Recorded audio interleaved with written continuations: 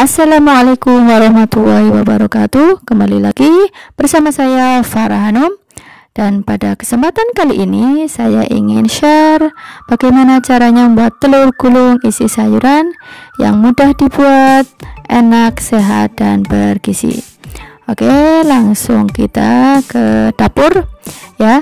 Bahan utama yang kita butuhkan tentu saja telur yang berjumlah 3 buah dan juga bahan pelengkap berupa sosis, wortel, brokoli, daun bawang, bawang merah, bawang bombay, garam, dan juga penyedap rasa kaldu jamur saya makanya atau kaldu sapi ataupun kaldu ayam juga bisa.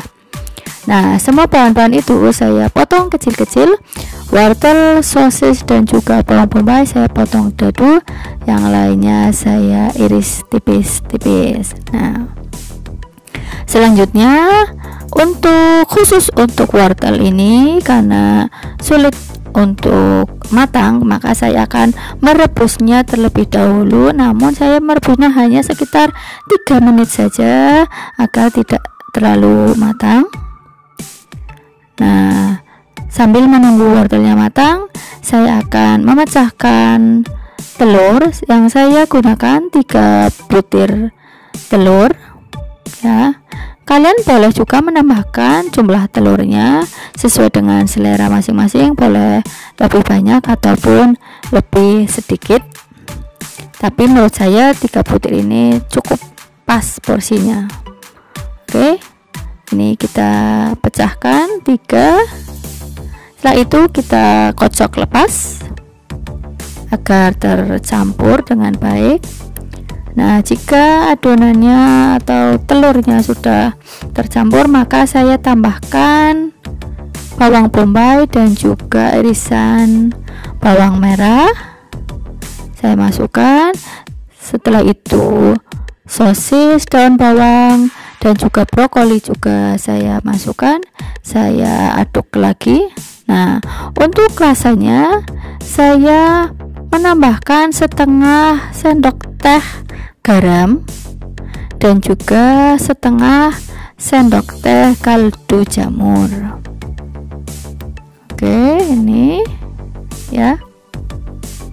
Nah yang ini wortel yang saya rebus tadi ini sudah matang saya tiriskan dan juga saya campurkan ke dalam kocokan telur yang tadi.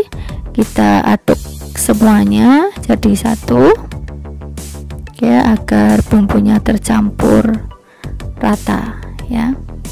Tidak usah lama-lama mengaduknya nggak apa-apa. Nah sekarang saya mulai ke proses penggorengan.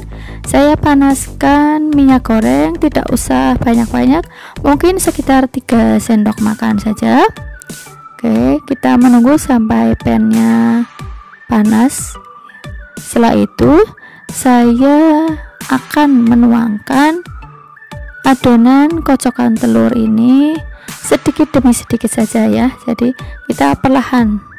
Saya tuangkan sedikit dulu. Oke ini sudah. Nah saya tunggu sampai setengah matang sebelum saya menggulungnya. Oke sekarang saya mulai menggulungnya. Mungkin agak agak susah di awal-awalnya bentuknya itu belum terlalu bagus tapi nanti lama-lama juga bagus. Ini saya tambahkan lagi sisa kocokan telur tadi bersama sayurannya. Oke.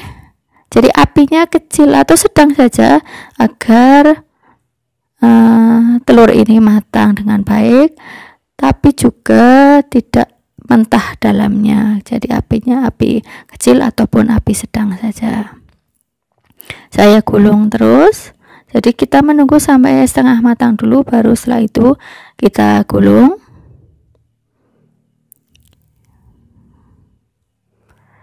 Ya saya tambahkan lagi adonannya. Oh ini untuk menggulung uh, telur ini kita memerlukan dua alat ya yang saya gunakan sodet yang untuk membaliknya dan juga bantuan garpu yang tadi saya gunakan untuk mengocok telur. Jadi dua alat ini bersama-sama kita gunakan untuk menggulung adonan telurnya. Nah ini ini adonannya sudah habis. Jadi tinggal terakhir yang kita gulung. Sampai nanti menunggu agar seluruhnya matang ya. Kita goreng sebentar sambil kita tekan-tekan dan juga kita balik sisi sebaliknya. Atau juga bisa juga goreng bagian sisi kanan dan kirinya juga bisa barangkali jika mentah. Sebenarnya sih kalau telur cepat matangnya ya jadi dalamnya mentah pun nanti kalau pas sudah tidak panas nanti juga matang ya. Goreng sampai kecoklatan nah ini sudah matang saya angkat dan saya letakkan di plate ya. Selanjutnya kita potong-potong besar kecilnya sesuai dengan keinginan. Ini untuk anak saya jadi saya cukup yang kecil-kecil saja untuk adonan ini kalian bisa menambahkan cabai ya biar pedas di dalamnya. Karena ini untuk anak saya jadi tidak saya tambahkan cabai. Hanya saja saya taburi dengan bubuk uh, rumput laut karena dia suka rumput laut. Kalian bisa menambahkan bubuk cabai ataupun yang lainnya sesuai dengan selera.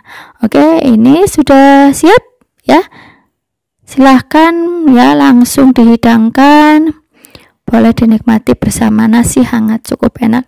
Ya cukup sekian. Thanks for watching. Saya tunggu subscribe nya wassalamualaikum warahmatullahi wabarakatuh